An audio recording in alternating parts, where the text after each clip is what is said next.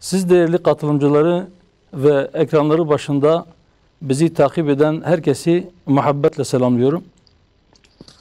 Değerli kardeşlerim, İslam ümmetinin makus talihinin değiştiği kutlu bir günün yıl dönümü münasebetiyle bu program tertip edildi. Bu vesileyle bir kez daha Büyük Komutan Selahaddin Eyyubi'yi ve Mescid-i Aksa'nın hürriyetine giden yolda izlediği stratejiyi ve fethi hazırlayan örnek mücadelesini konuşmak üzere bir aradayız. Bu vesileyle Şark'ın sevgili sultanı Büyük Mücahit Selahaddin'i ve Kudüs'ün fethinde görev almış bütün mücahitleri bir kez daha rahmetle anıyorum. Malumunuz olduğu üzere Haçlılar İslam ümmetinin dağınıklığını ve parçalanmışlığını fırsat bilerek 1095 yılında büyük ordular hazırlayıp Kudüs'e doğru harekete geçtiler. Tarihler 15 Temmuz 1099'u gösterdiğinde İslam aleminin bağrına zehirli bir hançer sapladılar. Evet, Kudüs düştü. Mescid-i Aksa'mız esir oldu. Bunun sebebi Haçlıların çok güçlü oluşu değil, İslam ümmetinin evlatlarının birbirleriyle uğraşmalarıydı. İslam ümmeti işgale engel olamayınca Kudüs ve Mescid-i Aksa ile birlikte ümmette düştü. Tam 88 yıl, dile kolay, yaklaşık bir asır ümmet kan ağladı, boynu bükük yaşadı. Sonra bir yiğit ümmeti düştüğü yerden yeniden ayağa kaldırmak için harekete geçti. Selahaddin Eyyubi'nin önderliğinde sefere çıkan İslam ordusunun 20 Eylül 1187'de kuşattığı Kudüs, Miraç mucizesinin yıl dönümü olan 27 Recep 583 Hicri yılında yani 2 Ekim 1187 Cuma günü ikinci kez fethedildi ve ilk kıblemiz Mescid-i Aksa yeniden hürriyetine kavuştu. Kuşkusuz bu fetih alelade bir sürecin neticesi değildi. Olayın ayrıntılarına girmeden zafere giden süreçte Selahaddin Eyyubi'nin izlediği strateji ile ilgili birkaç hususun altını ben de çizmek isterim. Evvela Büyük Komutan Selahaddin Eyyubi fetih öncesi ciddi hazırlıklar yapmıştır. Önce kendisi buna inanmış, kavli ve fiili olarak kendisini büyük fethe hazırlamıştır. Selahaddin Eyyubi Kudüs'ün Müslümanların dağınıklığından dolayı esaret altında olduğunu bilincindeydi. Bu yüzden işe buradan başlaması gerektiğine inanıyordu. Belki de asıl fetih dağılmış, parçalanmış İslam toplumunu yeniden bir araya getirip aynı hedefe doğru yürümek. Bu gerçekleşirse Kudüs ve Mescid-i Aksa çok daha kolay kurtarılacaktı.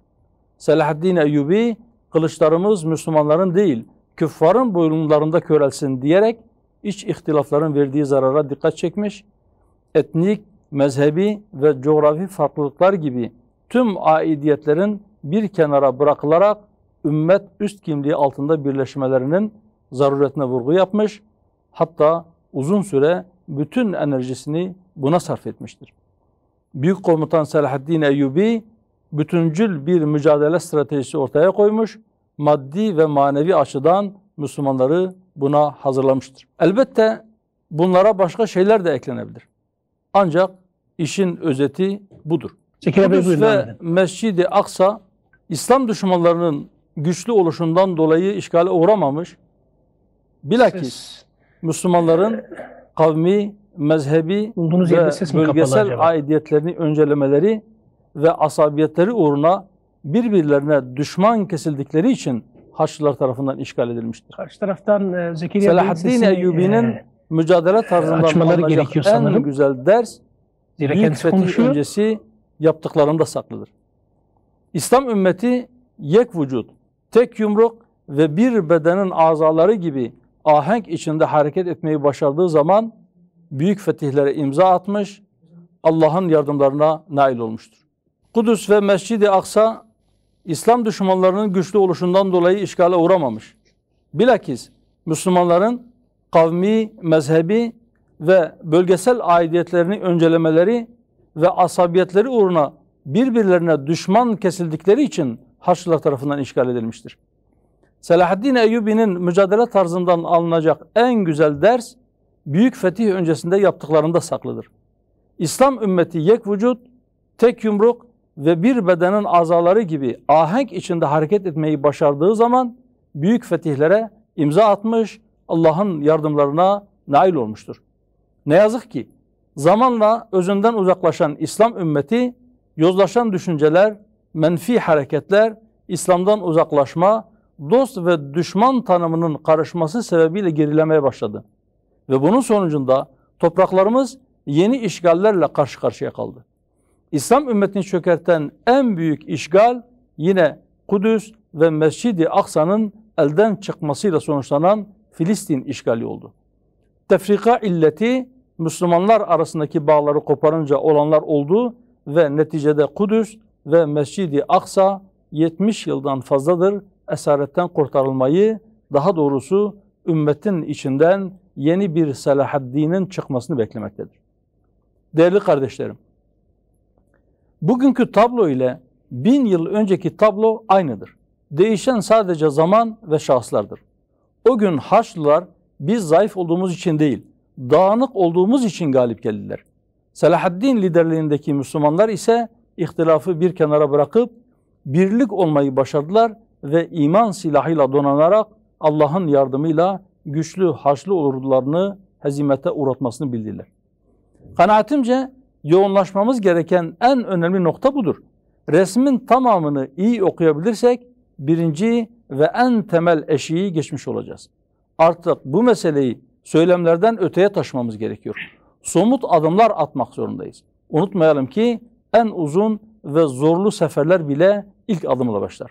Yani harekete geçmek, hedefe doğru adımlar atmak mecburiyetindeyiz. Aziz kardeşlerim, önümüzde iki yol var.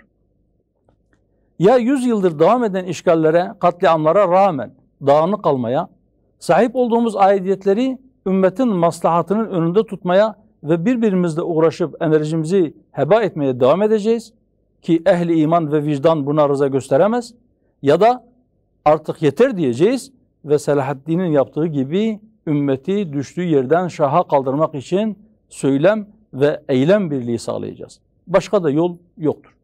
Evet, bize göre yol bu ikincisidir. Yani Selahaddin'in yaptığı gibi ümmeti düştüğü yerden şaha kaldırmak zorundayız. Bunun için de öncelikle ümmetin azalarını ve evlatlarını buna hazırlamamız gerekmektedir. Bu minvalde gücümüz yettiğince, imkanlarımız el verdiğince çaba gösterdik, gösteriyoruz.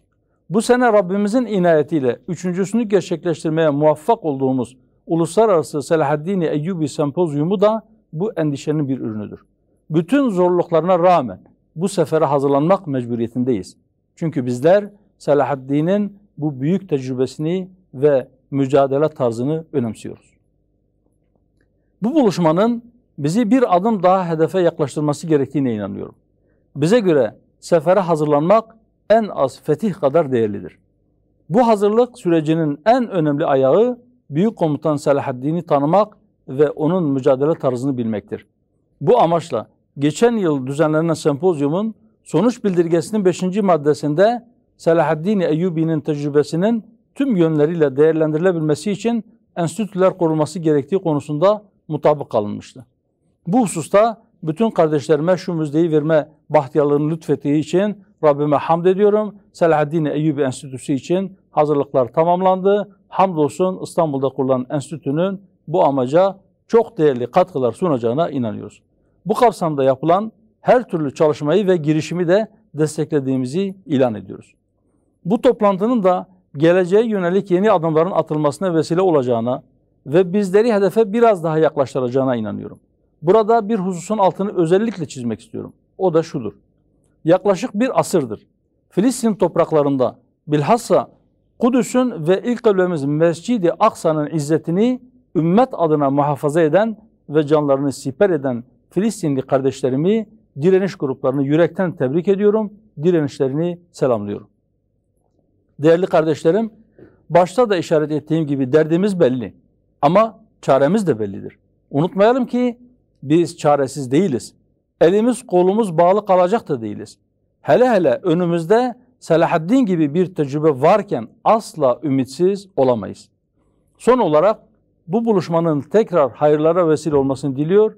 değerli katkılarından dolayı bütün katılımcılara teşekkür ediyorum. Bir sonraki buluşmada daha güçlü ve daha somut adımlarla yeniden bir araya gelmeyi ümit ediyorum. Hepinizi hürmet ve muhabbetle selamlıyorum.